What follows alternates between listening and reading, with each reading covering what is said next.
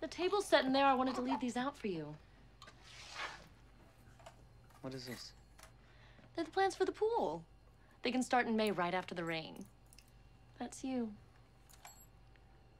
I don't know, Trudy. It's awfully permanent. I know. It'll add tremendous value to the property. And Lord knows you're so much better when you get some sun. Tammy could drown. What is wrong with you? I'm sorry. This doom and gloom, I'm tired of it.